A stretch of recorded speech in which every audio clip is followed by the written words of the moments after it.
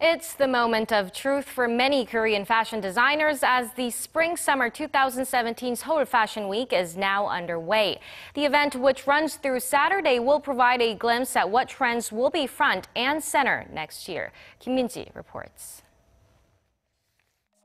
It's just 10 minutes before the show when the action is all backstage.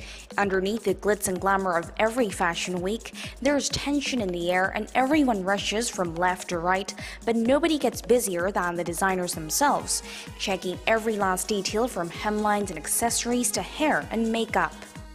It doesn't have the intensity of the runway, but for the designer, this is where the real work happens.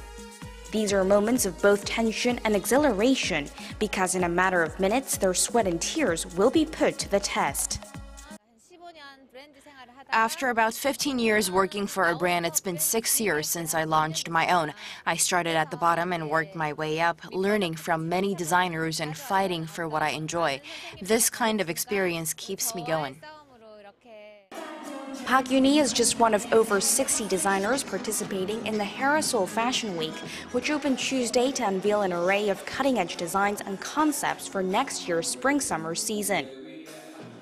And this time round, fashion leaders say the bohemian look is the trend to look out for. The bold colors and the exotic prints are ideal to express your individual sense of style.